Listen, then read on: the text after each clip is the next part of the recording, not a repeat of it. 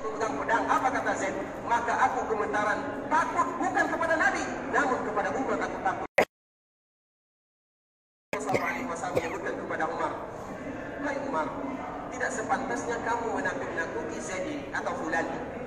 Namun yang harus kamu lakukan, Hai Umar, kamu boleh memerintahkan kepada untuk membayar hutang dengan baik dan kamu perintahkan kepada Zaid ini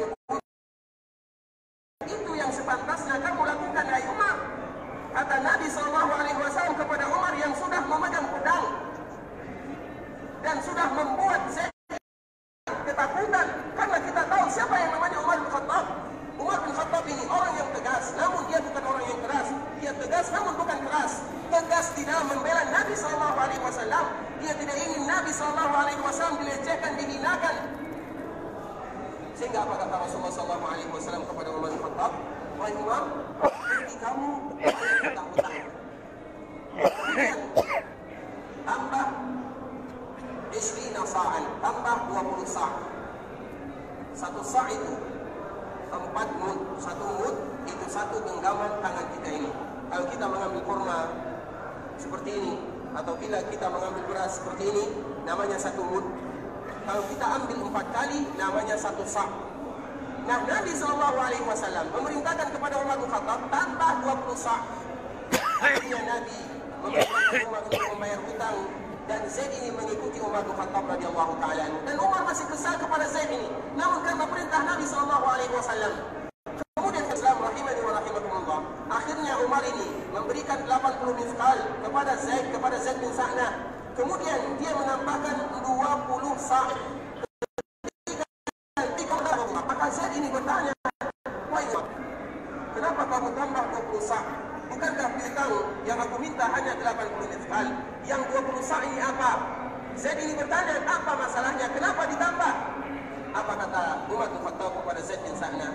Rasulullah SAW memerintahkan kepadaku untuk menambah karena aku telah membuat kamu takut. Aku telah membuat kamu takut sehingga Rasulullah SAW memerintahkan kepadaku untuk menambah 20 sa. 20 sa itu bukan sesuatu yang sedikit. Berarti tiga, kalau kita anggap sekarang, satu sa itu sekitar 3 kilo. 3 kali 20, 60 kilo korma atau 60 kilo gandum ditambah. Banyak jumlahnya. Kemudian apa kata Zaid kepada Umar? Wahai Zaid, wahai Umar bin Khattab, tahukah kamu aku ini siapa? Namun Umar tidak peduli. Maka Zaid terus, terus berbicara kepada Umar. Ketahuilah wahai Umar, aku adalah Zaid bin Sa'na. Maka Umar langsung menolak kepada Zaid. Kamu adalah ahbar Yahud. Wahai kamu, kamu ada pendetanya orang-orang Yahud. Betul kata Zaid. Aku tahu dan aku ada pendetanya orang-orang Yahudi. Dan aku tahu tentang sifat Nabi Muhammad SAW. Dan sekarang sudah aku buktikan bagaimana Nabi SAW. Ketahuilah wahai Umar. Di depan Umar mengucapkan. Ashadu an la ilaha illallah. Muhammad Rasulullah dengan keteladanan, dengan akhlak keramahan Nabi sallallahu alaihi wasallam. Nabi sallallahu alaihi wasallam adalah orang yang paling dermawan. Rasulullah sallallahu alaihi wasallam di antara salah satu salah satu pesan Nabi kepada kita, la taghdab, jangan pernah kalian marah.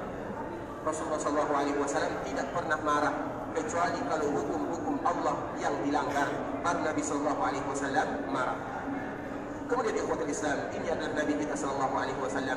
Semakin kenal kita kepada Nabi sallallahu alaihi wasallam, semakin cinta kita kepada Rasulullah sallallahu alaihi wasallam sehingga kita dianjurkan untuk sering-sering berselawat kepada Rasulullah sallallahu alaihi wasallam. Allahumma salli ala Muhammad wa ala ali Muhammad kama sallaita ala Ibrahim wa ala ali Ibrahim innaka Hamidum Majid.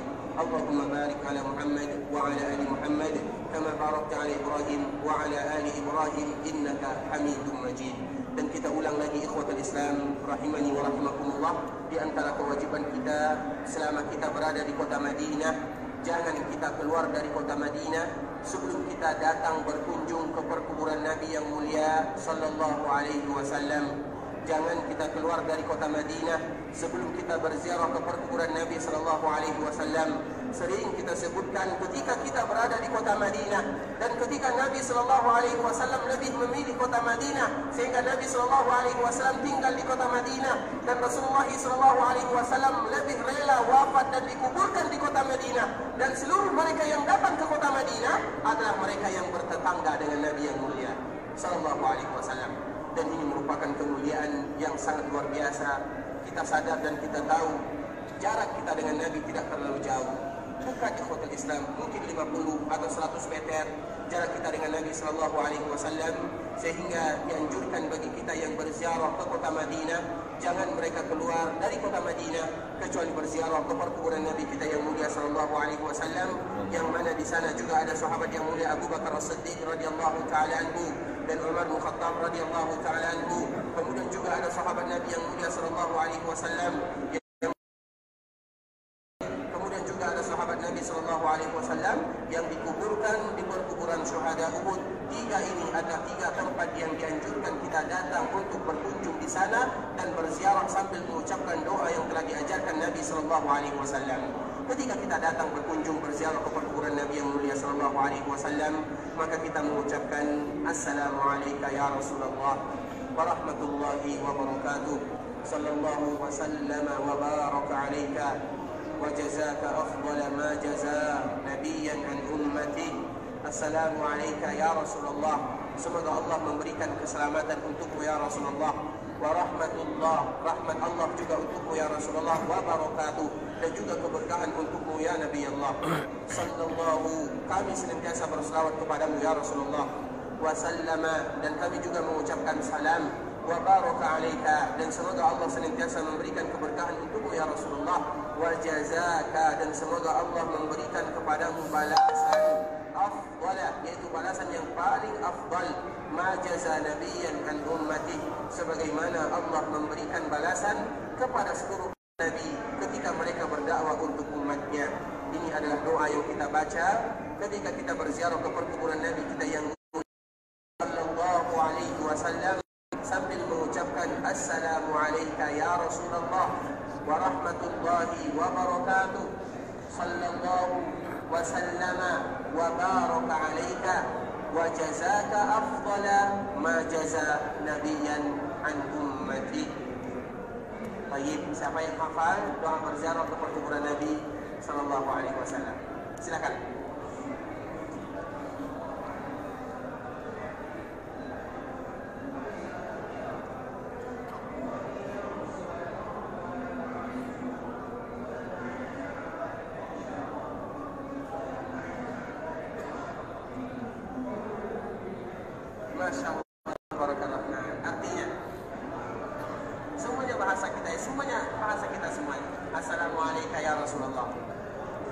selamat untukmu ya Rasulullah.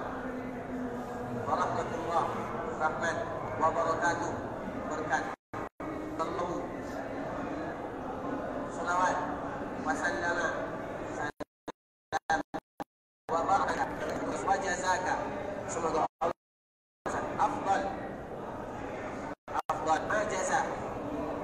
sebagaimana Allah memberikan perasaan nabi seorang nabi anhumati kepada kepada umatnya. Barakallahu fiikum, barakallahu fiikum.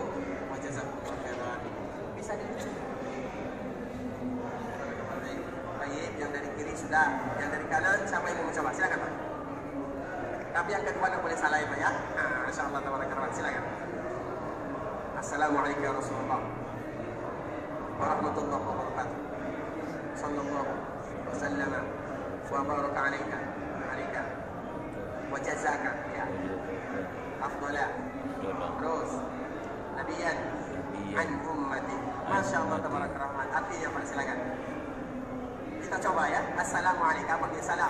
Waalaikumsalam. Apa kita semua ya? warahmatullah, wabarakatuh. Sallallahu alaihi. Salam wa baraka. Berkat juga wa jazaka. Semoga Allah memberikan balasan. Afdal yang paling afdal yaitu kita meminta kepada Allah agar Allah memberikan kepada Nabi kita balasan sebagaimana Allah memberikan balasan kepada seluruh para nabi ketika mereka berdakwah.